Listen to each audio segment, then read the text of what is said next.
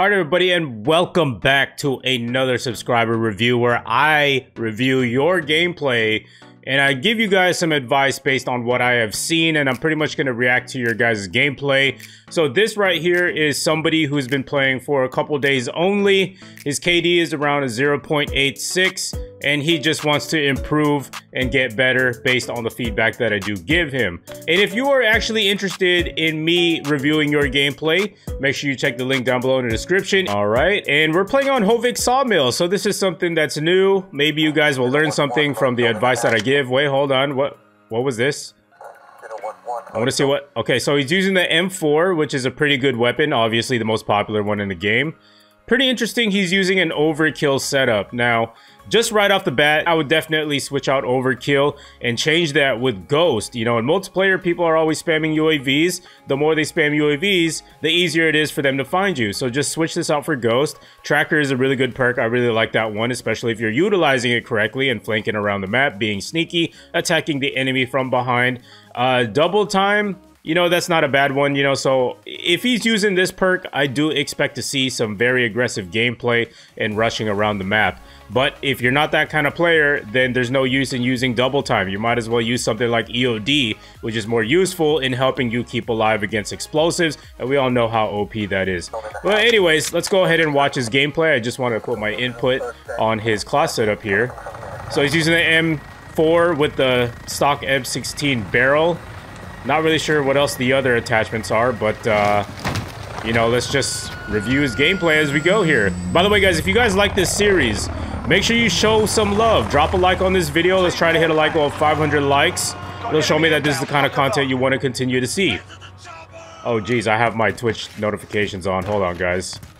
Let me go ahead and turn that off. I actually do stream on Twitch as well. Link down below in the description if you're interested. All right, so right off the bat, the first thing that I do notice is that he could definitely turn off world motion blur.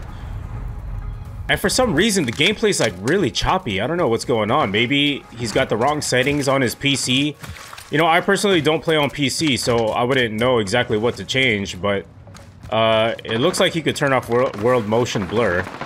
Because when you turn off world motion blur, when you turn around so sporadically, it's really hard for you to see enemies around you. Okay, that was a really great challenge. I like the fact that he felt confident enough to do that. Alright, he did not need to use his stim shot in that situation. I feel like that was a waste in my opinion. He could have just uh, sat there for a moment and let himself heal manually. Or not manually, but automatically. Someone's coming up to his left. You know, I really like the fact that he's staying stealthy. He's not rushing around the map aimlessly. Yes, he did hear this opponent's footsteps, so he's following the footsteps accordingly, which is exactly why I do recommend using the tracker perk. 100% that enemy probably heard him. I think there's another guy around here, right, right there behind him. Good kill.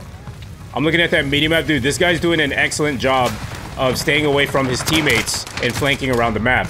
All right, so in this situation, let, let me let me just give you some insight on why I say flank around the map because some of you guys may be wondering what do you mean by flanking around the map? When I say flank around the map it means stay away from your teammates because the theory is that when you stay away from your teammates and you flank and flank also means stick to the outskirts of the map you do want to go the opposite way of your teammates because the more you do that, the more chances that you have of coming up against some enemies who are unsuspecting and do not expect you to be there. It's all about the element of surprise. So let's back up here and see what happened here and why he died in this situation. Keep in mind, not every situation that you die I can offer advice on because, you know, if you die, it's simply because you either got outplayed or you were just in the wrong place at the wrong time. But let's see what we can do here. So he takes out this guy. And I think he's using a monolithic suppressor, so that's good. So he's staying stealthy as possible. So he comes into here. All right, so he momentarily takes a look at what's going on in this building before he actually decides to rush, which is really good. All right. Okay, so in this situation, he had the right idea. I think he wanted to get high ground, so I commend him for that. Now, there really just wasn't much that he could have done in this situation because he already had his gun up. You know, the only thing I would say is like maybe approach the ramp a little bit more cautiously instead of being caught in a double sprint. That's why having that double time could possibly put you in a bad situation because you're most likely going to want to double sprint pretty much everywhere you go. So as you can see, like the dude was already expecting him up. He probably heard his footsteps as he was sprinting up the ramp. And that's why he was caught in a situation where his gun is up and he's, as a result, is going to lose this gunfight. And that's pretty much the result of that, you know? You know, he didn't really do many things wrong in that situation. Okay, looks like... Okay, I think he's going to stick with his M4 setup. Yeah, he didn't do anything really wrong in that situation. It was just a matter of the movement mechanic, you know? when you're going up ramps and you're especially by yourself in a different part of the map where your teammates are not, you're most likely going to come across enemies, which I've said before in the past. So you have to be a little bit more mindful, a little bit more cautious when you're going into new areas. So you got to take that one step further and just be a little bit more safe. So in this situation, when you turn around this corner, always pre-aim into new areas or lines of sight where you feel there might be enemies. So I, I always like to say, always assume there's going to be an enemy around every corner. So let's take a look at this again. Yeah, see, it was already too late. So this dude was already here. He already saw him. So once you turn around this corner, before you turn around this corner, matter of fact, you want to aim down sight. Yo, to celebrate 100,000 subscribers, I'm officially announcing my first ever merch drop is now available between July 9th to July 19th. You got 10 days to cop this exclusive merch. This is a limited drop and will never be seen again. If you've been rocking with me for the longest or you just became a huge supporter, take your allegiance to Turbo Nation one step further and represent by grabbing you a Turbo Nation tee, hoodie, crew neck, available in all sizes, different colors. And as a thank you, I will personally shout you out if you take a picture with my merch on and tag me either on Twitter, Instagram, or Discord. Cop it now before you never see it again. You don't have to dramatically aim down sights, you know, while you're walking around the corners. You just want to quickly glance. You got to pre-aim. And that's why he lost that gunfight. You definitely could have won that gunfight if you had pre-aimed around that corner. Alright, so now he's switching to the AUG. And now he's switching back to the M4. Alright, teammate just died right in front of him. Yeah, he could have pre-aimed a little bit sooner. Like, these small little fundamentals... You know, it's something that comes within time. Time and experience, you know. I think... Okay, that was a good kill but it could have been cleaned up a little bit more by pre-aiming. There you go. That was a good kill. That's another good example right there of just pre-aiming around corners. Like, I don't know how many times I've already said this already, but that is definitely something that's sticking out to me in this user's particular gameplay. Alright, pre-aim. You gotta pre-aim around those corners, man. Even coming into this new area. Alright. So, Let's let's take a look. Let's take a look back here. What happened in this situation? Right I wanna wanna take a deeper look into this. All right, so you know, there's no teammates directly in front of him. Only the guy right here, and there's one small little guy over there, but you can barely see him. All right, so he's coming around this corner. So as he's turning around this corner, he's not really checking his left. Anytime you want to move from point A to point B, and it involves crossing a line of sight, you have to be mindful of that as well. So if you're gonna go from this corner uh, and you you want to move to this location, it would be the smarter idea to actually go in through here and not really go out through here because you put yourself more at risk to getting shot, if that makes sense. See in this situation how he crosses outside of this little uh, shaded area here, he should have went inside of the shaded area. You got to use objects to your advantage so that it helps you stay alive regardless if you see an enemy or not. You know, it's better safe than sorry, and that's the result of that right there. I do see that he has some... He has some field upgrades ready. I'm not really sure what they are. Alright, so he's pre-aiming. He's going to keep moving. I would definitely pre-aim around this corner again. I think I think he's rushing way too hard. You got to slow your game down just a little bit. Yeah, that's really what it is. You're rushing way too hard. Slow your game down a little bit, and you'll be able to stand a chance more in those gunfights. There you go. See what happens when you pre-aim.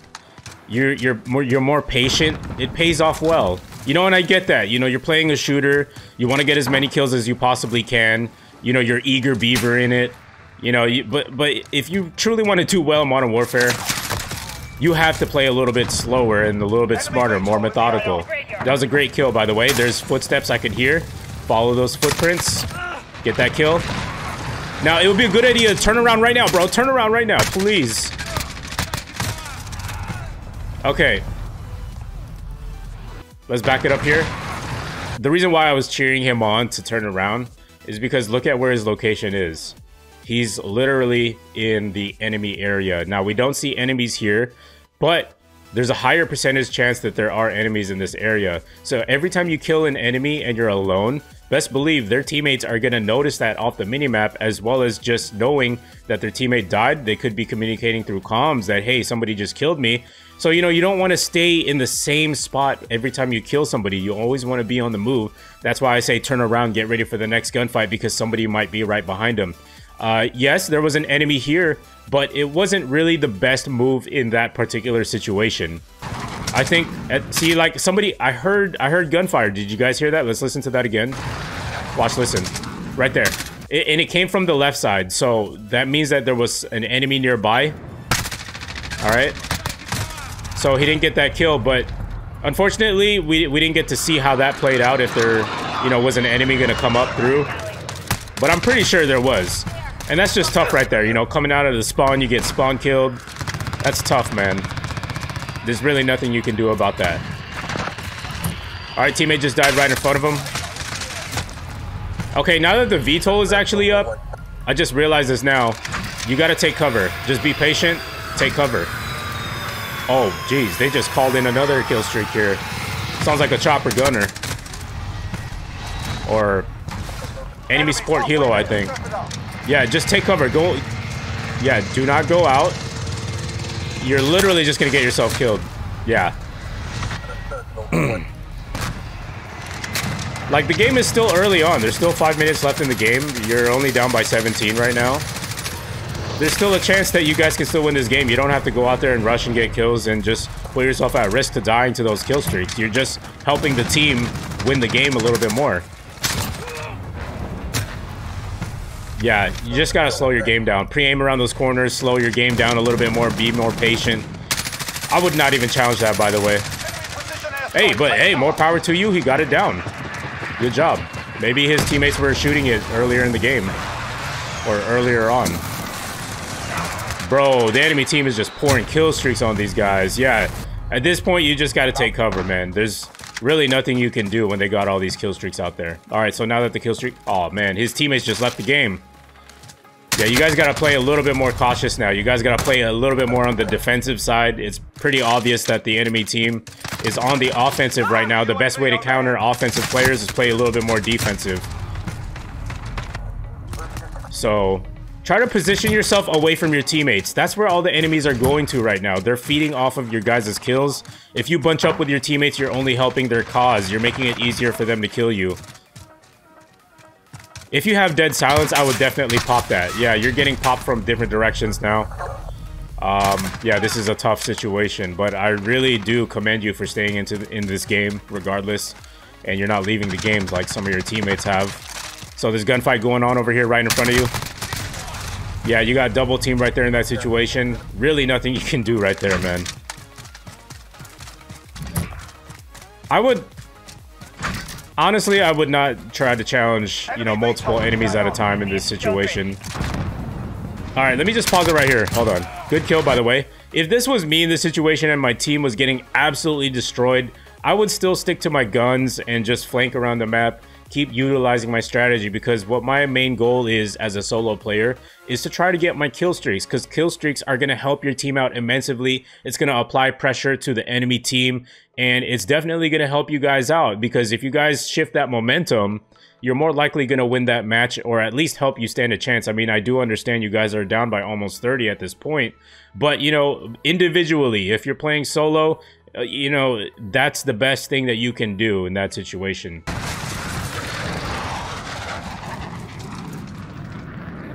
Yeah, you got to play a little bit more cautiously at this point, man. Can't just run around expecting to get a lot of kills. And that, I think that VTOL is up in the air. yeah. Yeah, dude, the enemy team is just pouring the kill streaks on you guys at this point. Yeah, the game is pretty much almost over. You might as well just camp it out, you know, take cover.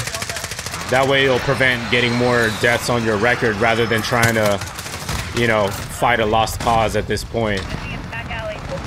Yeah, they got two more.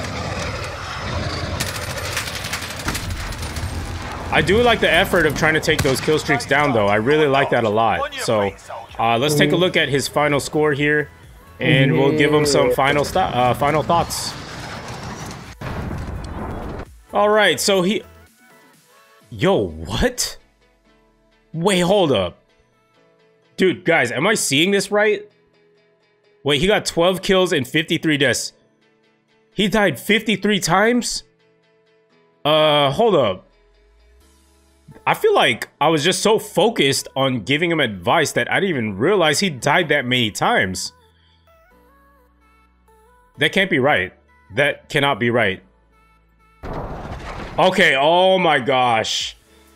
I was like, wait, no way. No way that was possible. But anyways, so he got 12 kills and 22 deaths. So 0.55 ratio.